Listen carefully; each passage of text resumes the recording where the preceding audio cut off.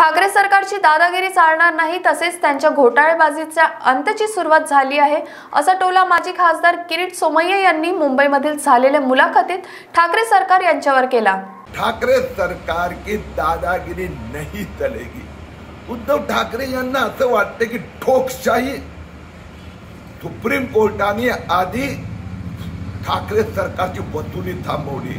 गृहमंत्रींना जेलमध्ये पाठवलं. वास्तविकरित्या ह्या वसुली सरकारचा घोटाळेबाजांची दादागिरीचा अंतची सुरुवात.